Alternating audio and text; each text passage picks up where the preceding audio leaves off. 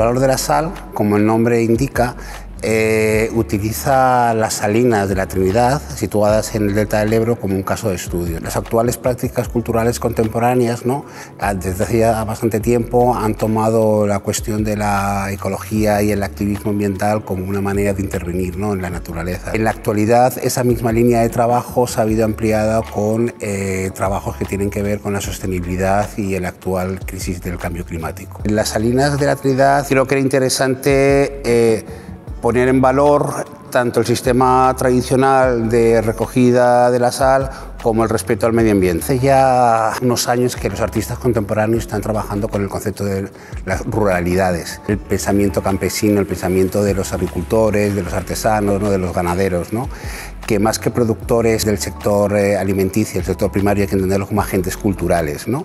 Eh, precisamente el pensamiento campesino lo que hace es recuperar todos estos saberes tradicionales ¿no? y eh, es un ejemplo ¿no? de práctica de sostenibilidad respecto a su respecto a la naturaleza. Eso fue lo que nos interesó a la hora de trabajar el tema de las salinas. La exposición El valor de la sal está compuesta por 10 eh, artistas, 6 eh, mujeres y 4 hombres, ¿no? incluyendo el colectivo Menir. Y es cierto que, aunque está centrada en el arte contemporáneo, hemos recuperado algunos nombres ¿no? que creemos que son esenciales para contar este relato. ¿no? Uno de ellos es el cineasta catalán Jacinto Esteban, perteneciente a la Escuela de Barcelona, que es eh, la primera pieza, la pieza más antigua, ¿no? Es un documental que realizó en el año 63 que se llama Alrededor de las Arininas, ¿no? que a principio tiene la forma de un documental antropológico etnográfico, ¿no? pero rápidamente eh, la pieza se convierte en un alegato en contra de las condiciones eh, laborales de los trabajadores de las salinas durante la dictadura franquista. ¿no? Igualmente tenemos la obra de Carmen Lafón, que es una artista que falleció recientemente, el año pasado, ¿no? que ha utilizado las salinas de la Bonanza, ¿no? en, que están en, la desembocadura de Guadalquivir, entre em, Cádiz y Huelva, como un, motivo recurrente de sus últimas series de trabajo. ¿no? Podríamos hablar de Baloch, ¿no? que tiene 83 años ¿no?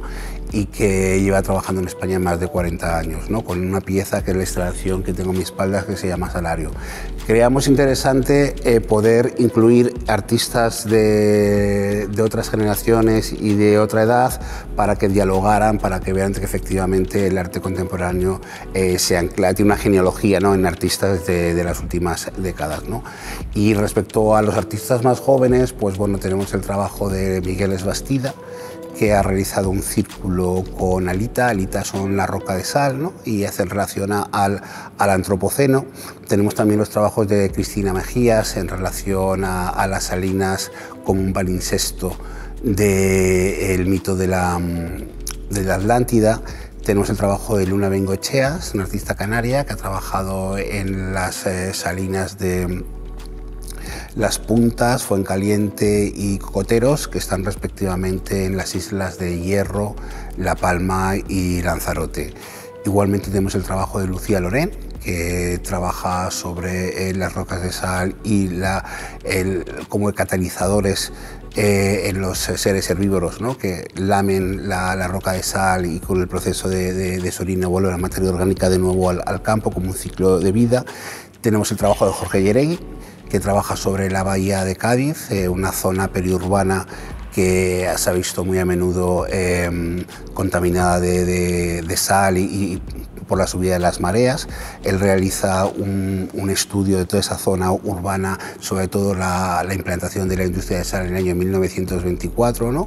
Y em, tenemos también el trabajo de Bárbara Fluxa, eh, una artista que ha trabajado las salinas en Torrevieja y en Santa Pola y ha creado una instalación que se asemeja a los miradores que se encuentran en estas eh, zonas para visionar los, los, pájaros.